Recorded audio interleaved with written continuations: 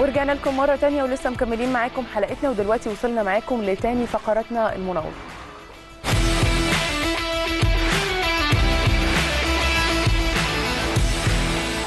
بينضم لنا في مناورتنا اللي هنتكلم فيها عن الإنجاز اللي حققه منتخب المغرب في كأس العالم واحد من نجوم النادي الأهلي عاش حياته داخل جدران القلعة الحمراء.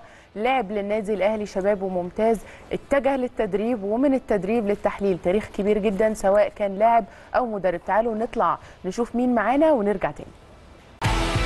بنرحب طبعا بالكابتن عادل طعيمه نجم النادي الأهلي السابق. منورنا يا كابتن. أنتوا منورين والله. الله يخلي حضرتك. البرنامج الجميل كده. الله يبارك فيك. الله. يخلي حضرتك. في البداية عايزاك حضرتك تديني عنوان مناسب للإنجاز اللي حققته المغرب في المونديال لحد دلوقتي. في جملتين انتصار للعرب. الله. صار العرب افريقيا كمان يعني أفريقيا إحنا آه. كلنا كعرب. خلينا في العرب. خلينا آه. بالعرب فرحه أصل فرح فرحه العرب فعلا العرب كبيرة. آه، أكتر والدليل على كده شوف ال- الجماهير اللي, مترابطة الناس بتيجي من الجزائر عشان تشجع المغرب.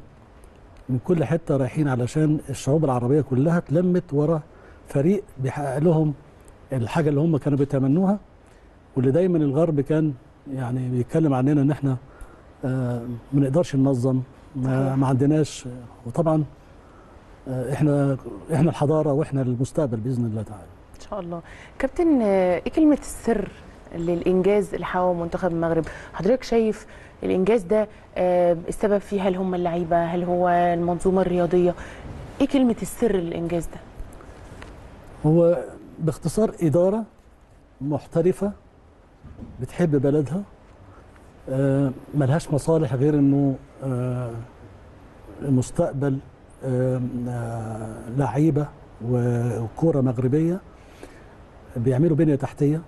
كانوا هينظموا كأس عالم 2010 ودخلوا مع جنوب أفريقيا.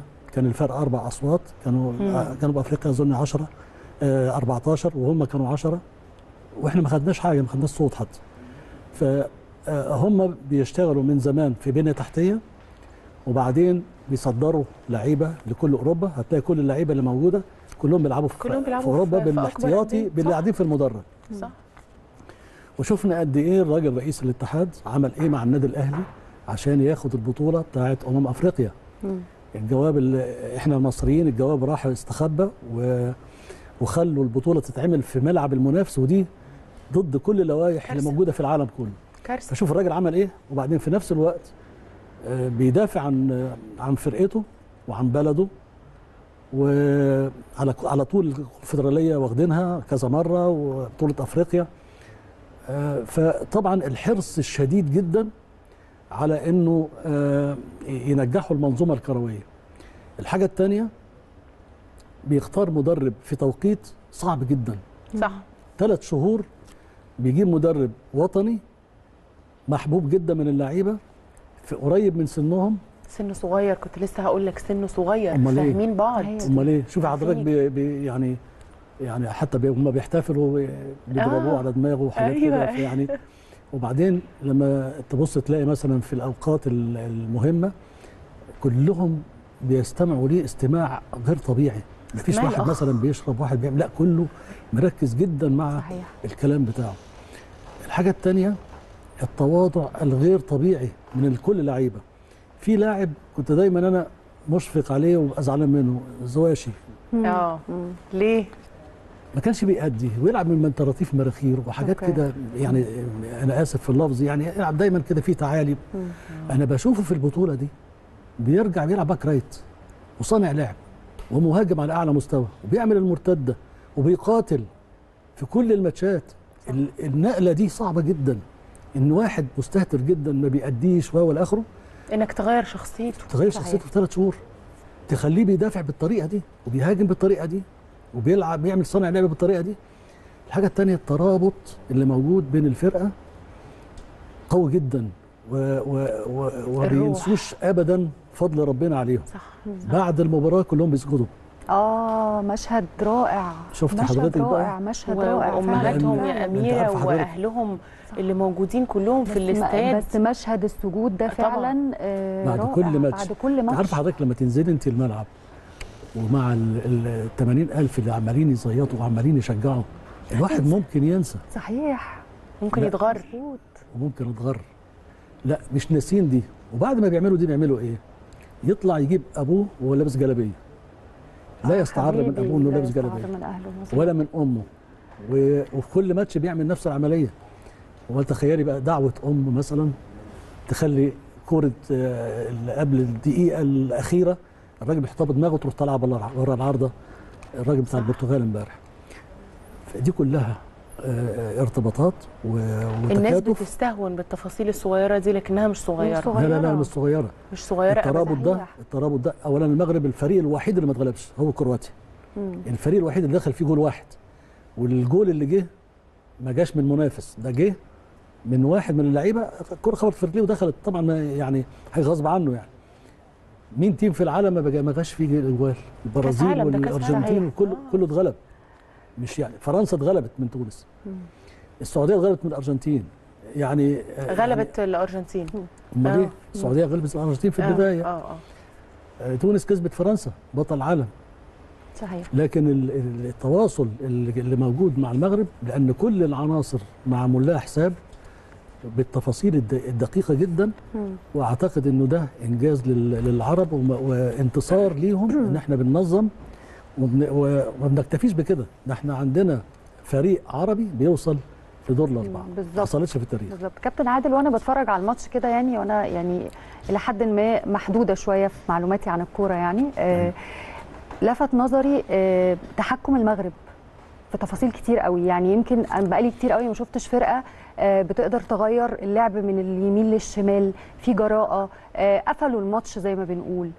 إيه اللي بيميز المغرب من ماتش امبارح بس أنا عايزاك تكلمني عن ماتش امبارح. أنا شفت قوة وجراءة. أنا كنت حاسة إنهم مدوخين آه، البرتغال. يعني بجد كانوا معصبينهم. تشوف ده إزاي. اولا نتكلم على فريق البرتغال في دقيقة. أوكي. كلهم منتخب عالم كلهم اللي بيلعب في المان سيتي وال بالظبط فالوقوف قدامهم أصلا لوحده صعب جدا. صعب جدا اولا الولاد عندهم آه، الثقة في الله ثم ثقة في نفسهم. الثقة في الله بتخلي البني آدم يبقى عنده ثقة في نفسه فيبقى عارف إن أنا الناس دول مش أكفأ مني صحيح فأنا هأدي قدامهم زي ما أنا عايز مش. زي ما هم عايزين مم. الجانب الفني دي, دي طبعا الجانب النفسي الأول الجانب الفني آه، آه، تعليمات المدرب بينفذوها على أعلى مستوى مم. مم. هم طبعا بيقفلوا مساحات بيقفلوا كل الثغرات. من الأطراف بيقفلوا في العمق بيقفلوا آه عندهم half defender رائع مرا اسمه مرابط مم. ده أعتقد ليفربول عايزين يشتروه بأي ثمن آه بيلعب في نص الملعب مقاتل على أعلى مستوى إلى جانب طبعا زياشي وأشرف حكيمي اشرف حكيمي بيلعب في الم... في آه، في باريس سان جيرمان فبينفذوا الجانب الدفاعي على أعلى مستوى. وراهم حارس مرمى الأفضل في العالم. ده قصة الأفضل في العالم. صحيح. وده كان بيبقى احتياطي وما بيلعبش. ومرة واحدة شفنا الراجل ده بيعمل إيه في كل الماتشات بي بي يعني بيجتاز وضربات الجزاء وفي كل حاجة بيأديها على أعلى مستوى. إلى جانب الجانب الهجومي لا يغفلوه. إحنا شفنا امبارح تيم المغرب امبارح يكسب أربعة. حقيقي إحنا ضيع هم ضيعوا جوان كتير. ده في آخر آه، دقيقة آه. في الدقيقه 98 انفراد كامل والراجل حب يعني ياخدها من فوق الجول وطبعا ده غلط. صحيح. المفروض إن هو من البداية يحطها علشان ده كان ينهي أي مجال إن هم يعني يفكروا فيه. يتعادلوا أو آه. فالجانب الدفاعي ملتزمين جدا الجانب الهجومي بيأدوه على أعلى مستوى. آه في روح قتالية عالية جدا اللي بيغلط منهم أي حد بيغلط. تبص تلاقي زميله على طول بيعمل عملية التغطية عليه بحيث إن العيب ده ما يبانش. مظبوط. وده نتيجة الحب والترابط اللي بينهم. هتبص تلاقي كمان ال- ال- المدرب في عمليات التغيير والتبديل بيعملها بطريقة آه ما فيهاش غرض غير إنه مصلحة الفرقة. أحيانا المدرب ممكن يكون بيغلط في تغيير. زي ما غلط امبارح. غلط امبارح في راس الحربة اللي هو نزله ده راجل أناني أكتر من كره ممكن يلعبها زي- لزياشي تبقى جول. صحيح. هو اللي بيلعبها. فدي غلطته. تخيلي حضرتك بقى إنه بعد ما يطرد الفريق يبقى أحسن؟ لأنه اتطرد هو طبعا. يعني ما اكتفاش إن هو ضيع جولين. ضيع جونين آه. وضيع جول انفراد. يعني جولين لو عملها لزياشي كده هتبقى جول. فجولين. وعمل وعمل انفراد ما جابوش. وكمان اضطر وكمان اتطرد فلما اتطرد كان فاضل أظن دقيقتين ثلاثة. الفريق تخيلي بقى أحسن. لأنه لا بيأدي الواجب الدفاعي ولا الهجوم فالمدرب ممكن بيغلط بس الغلطة بتاعته مش مقصودة. صح. آه لأن برضه أنا أعرف اللي في الدكة برضه في عنده فراودة آه، أفضل من اللاعب ده. لكن هي وجهة نظره لازم نحترمها.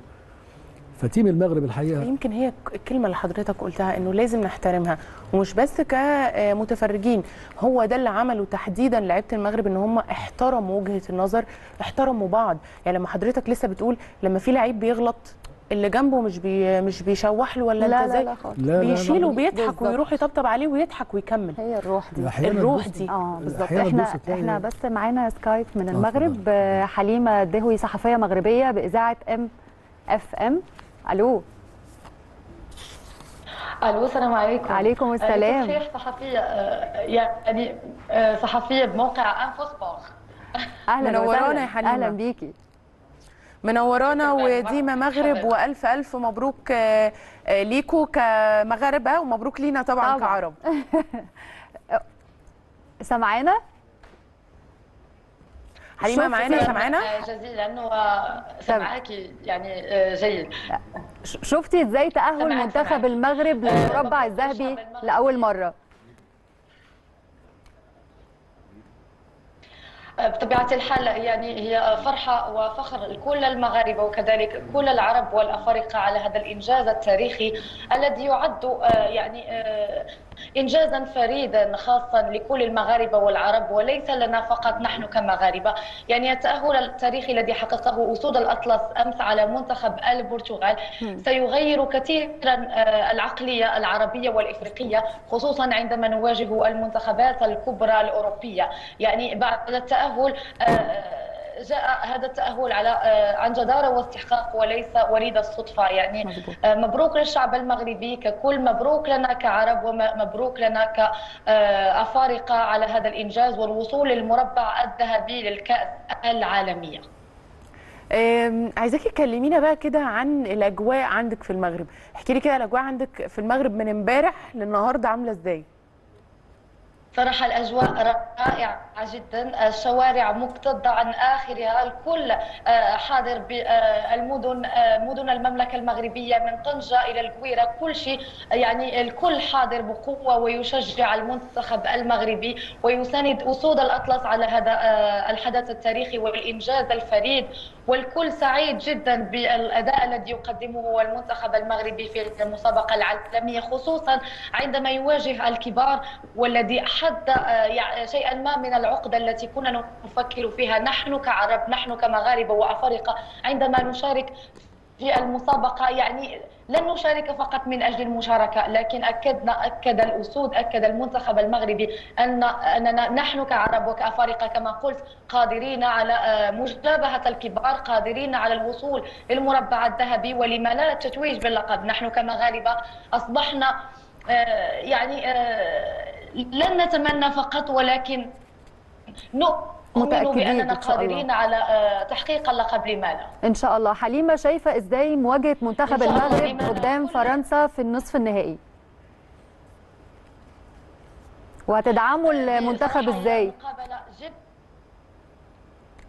يعني المقابلة جد صعبة أمام منتخب فرنسا الذي آه، يتوفر على لاعبين كبار.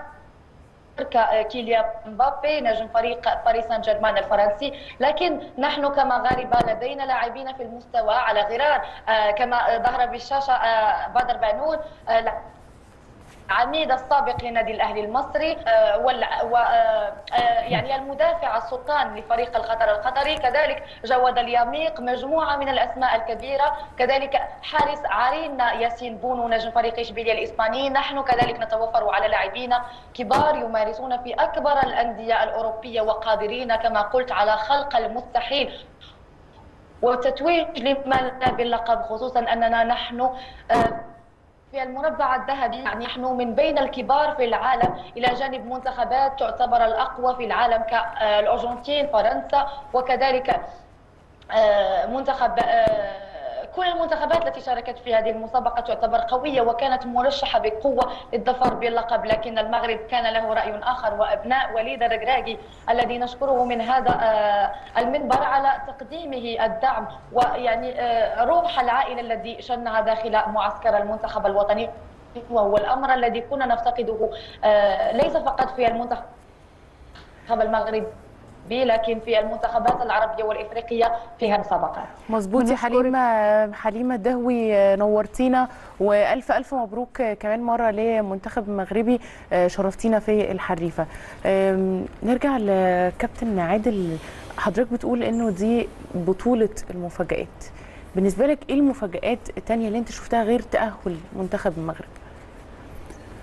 ال- الاستعداد الجيد من كل الفرق العربية الحقيقة آم، السعودية تونس المغرب آه، السنغال كل الفرق حتى بما فيهم الأفريقية الحقيقة عملت استعداد جيد وعملت آه، مرحلة آه، من المباريات الودية القوية. يعني تونس قبل ما تلعب في كأس العالم عملت ماتشات قوية جدا مع البرازيل ومع فرق كبيرة. ودي الحاجة دايما اللي إحنا بنفتقدها. إحنا. لاعب النيجر وليبيريا والحاجات دي. فطبعا آه، هم بيلعبوا فرق كبيرة بحيث إن هو لما يوصل كأس عالم يبقى هو اولا بتدي ثقة بتدي لياقة بدنية عالية وفي نفس الوقت بتديني آه، إحساس إن أنا آه، الناس دول مش أفضل مني. أنا لو بتدرب زيهم وعندي احتراف وعندي كل الإمكانيات أنا ببقى يعني ببقى أفضل منهم في حاجات تانية وهي الحاجات الاجتماعية اللي هي مش موجودة عندهم. الترابط ال- ال- اللي بيبقى قوي جدا ده بيبقى بينعكس على الملعب. فالترابط بتاع لعيبتنا ك- كأمة عربية وكأمة إسلامية بيبقى الترابط ده ال- الأسرة بتبقى مهمة جدا بما فيهم الأسرة الكروية ال- أو الفريق يعني. ال- اللي أنا كنت برضو بحب إن أنا أوصله للناس اللي رينارد ده اللي كان المفروض إنه ماسك منتخب السعودية أنا برشحه من 2009 إنه يمسك منتخب مصر آه وكان مرتبه 10000 دولار النهارده كل الفرق اللي هو مسكها يا إما خدت بطولة أفريقيا يا إما راح كأس عالم. تيم المغرب الموجود دلوقتي الراجل ده كان وصلهم كأس العالم من أربع سنين وهو اللي عامل البذرة دي. يعني بعد فضل ربنا الراجل ده كل الفريق ده كان بيلعب تحت قيادته في 2018 مم. فبرضه الراجل ده من الشخصيات القوية جدا فنيا وسلوكيا وتربويا. فعنده الم- الميزات دي. ال- الحقيقة ال- الحاجة اللي كانت مفاجأة بالنسبة لي إن تيم المغرب يأدي بالصورة دي ما يجيش فيه غير جول واحد مش من منافس من ويوصل لمرحلة إنه بيكسب كل الماتشات دي دي طبعا مفاجأة. دي حقيقة- دي مفاجأة فعلا.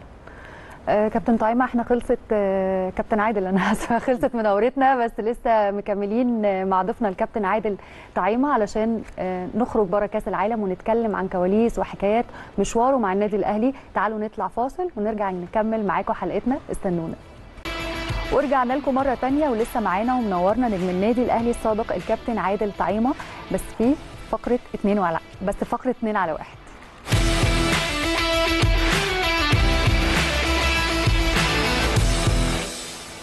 هنخرج بقى من أجواء كأس العالم اللي مش قادرين نخرج منها ونتكلم معاك يا كابتن عن مشوارك في عالم الكورة في كرة القدم آه، وعلاقتك بالنادي الأهلي. خلينا قبل بس ما نتكلم عن علاقتك بالنادي الأهلي عايزين نتكلم عن البدايات أصلا. ليه حضرتك لعبت كورة من البداية؟ يعني بداية اختيار الكورة كرياضة. وفي أحلى في الدنيا من الكورة. لا. بكل صراحة لا. كأس العالم 2.5 أو 3 مليار بيتفرجوا عليها. العالم كله الكرة الأرضية اجتمعت على الحاجة دي. فطبعا من من الصغر بت- بتبقى كرة القدم دي المعشوقة بتاعت كل طفل. وبعدين الحظ الجميل والحظ اللي ربنا الواحد بيشكر ربنا عليه ليل نهار. إن والدي وال وأسرتنا والأسر اللي هي داخلة في أسرتنا كلهم أهلاوية. حصل أنا عند سبع سنين أو ثمان سنين رحت على النادي الأهلي قابلت كابتن مصطفى حسين. كان أيام ما فيش الاختبارات بالأعداد ال- الاختبارات كانت بتبقى عاديه ومن أول مقابلة مدينا الاستمارات وابتدينا في النادي الأهلي في سن صغير جدا. آه، من ضمن الحاجات اللي أنا ما انساهاش كان الأهلي بيلعب بطل أوروبا. بنفيكا في الاستاد وكان في تقريبا 120 ألف في الاستاد وفي 120 ألف بره وأيامها طبعا كانت مدينة نصر ما فيش العمارات والكلام ده يعني كانت كلها صحراء يعني. فكنا إحنا بقى صغيرين لعبنا قبل الماتش ده وبعد ال- اللعيبة وهي نازلة بنحط لهم ال- الورد والحاجة الحاجة دي لا يمكن تطلع من ذاكرتي وإحنا لسه أطفال. صغ- صغيرين. صحيح. تربينا بقى في النادي الأهلي على النصر والأخلاقيات والأدب والإحترام. وبعدين لما كبرنا شوية بقينا عندنا 13 سنة 14 سنة 15 سنة بنلاعب دايما الفريق الأول. كان الفريق الأول بيلعب سبت واثنين وأربع تمرينات ويلعب ماتش الجمعة. فكان دايما يحبوا يعملوا تراي ماتش قبل قبل ماتش الجمعة فيلعبونا يوم الأربعاء. بقول ليه القصة دي؟ تبص تلاقي مثلا كباتن الكبار لما يجي يندهلك يقول لك يا كابتن فلان. هو كابتن كبير قوي وإحنا لسه اشبال فيجي يقول لك يا كابتن عادل يا برضه دي في في الودان ما لا يمكن. تتنسي. طبعاً. يعلمك من آه. وأنت طفل يعني إيه احترام آه. إنه أحترم تشجيع. الكبير والصغير هي دي الأخلاق بتاعت النادي الأهلي اللي إحنا دايما. بنتكلم عنها. ولذلك كنا دايما نحترم العامل نحترمه زي رئيس النادي زي ال- ال- اللي شغال في الجنينة اللي شغال في في كل حتة. تحس زي ما بيقول الكابتن خطيب وكل الناس إن إحنا عيلة واحدة. مفيش حد فينا. كل واحد بيخدم في مجاله وكل مجاله آه، في احترامه. اللي في الحمامات ليها احترامها لأنها وظيفة مهمة جدا.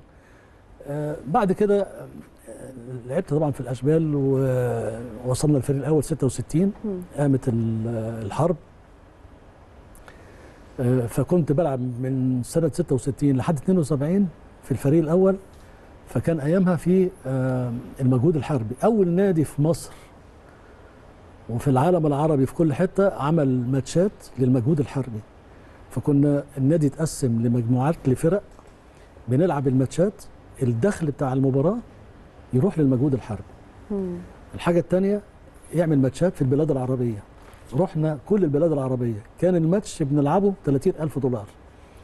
30 ألف دولار دول ما بيخشوش النادي. مم. 30 ألف دولار على خزينة الدولة عشان المجهود الحربي. آه سافرنا معظم البلاد العربية علشان الحاجة دي بس ما ناخدش غير يا دوبك المصروف الجيب بتاع كل لاعب. آه، ابتدى كابتن ال- يعني كنتوا لا لا تختلفوا عن ضباط الجيش اللي واقفين بيدافعوا عن البلد أنتوا إيه؟ بتشاركوا باللي بتعملوه اللي هو كرة القدم ماديا في آه، المجهود الحربي اللي حضرتك بتتكلم أنت عنه عارفه انت إحنا كنا بنعمل إيه؟ ودي برضو أول مرة حد يسمعها. النادي الأهلي بيروح يلاعب الجيش الثاني في الميدان في في سينا على الحدود. ياه. والله ما حدش يعرف الكلام ده. ما حدش قاله قبل كده. كنا بنلعب الماتشات هناك علشان نرفه على الجيش. وكنا بنشوف قناة السويس والجماعة اليهود قاعدين بيستحموا وحاطين الشماسي وبتاع وإحنا الجندي بتاعنا واقف في المية بال- بالبندقية بتاعته وبيسخروا منه إن هو. فدي يعني النادي الأهلي كان بيروح فين؟ وبعدين كنا بنزور بقى ننزل نشوف الدفاع الجوي والسخوي والحاجات ديت إزاي الجندي قاعد تحت الأرض علشان فطبعا وصلنا بعد كده ال- النادي الأهلي آه، بيلعب أهلي بنغازي آه، فعجبهم آه، عادل وعصام عبد المنعم فخدونا احتراف في أهلي بنغازي سنة ونص؟ قبل قبل ما نكمل الرحلة دي عايز اسال حضرتك على حاجة مهمة قوي في المرحلة دي كابتن صالح سليم. حضرتك عاصرت كابتن صالح سليم من بداية مشوارك في النادي الأهلي. كلمني عن كابتن صالح سليم عن موقف معين مش هتنساه. شوفي كابتن كابتن صالح هو حصل آه، إن أنا من حظي الطيب إن الفرق اللي هي كانت متقسمة كنت أنا في الفريق بتاعه. كان كابتن عادل هيكل الجول كنت أنا مع كابتن صالح بنلعب مع بعض في نفس الفريق. ف آه، في كل دقيقة الكرة بتيجي الكابتن صالح ألاقي الكرة قدامي تقول لي يا عادل إذا ما جبتهاش هتبقى إيه؟ لازم تجيبها. آه. فبيحطها لك بحب وبجمال وب... وبروعة وإنكار ذات لا حدود ليه. حصل برضو من ضمن حظي ال- الجيد وبرضو دي يمكن العمر ده كله أنا محدش يعرف. إن إحنا أنا كنت جار الكابتن صالح في في 118 سا- شارع 26 يوليو. كان هو في شقة تسعة وإحنا في شقة 10 فبالصدفه طبعا بنعزل كنا في شبرا ووالدي جاب الشقة دي فبصادف وإحنا بننقل العفش. صالح سليم وجمال طعيمه طبعا الكلام ده أنا ما قلتوش عمري فإنما يعني بنقوله بقى مع حضراتكم يعني. فطبعا اللي عارفة الأسرة المصرية بنت البلد؟ آه. عارفة الحاجات بتاعت زمان؟ آه. طبق مش عارف الكحك اللي بيروح طبق العاشورة طبق ال- آه الطبق اللي زينب. نازل طالع في العمارة ده. أيوة. آه آه. الكلام ده؟ صح.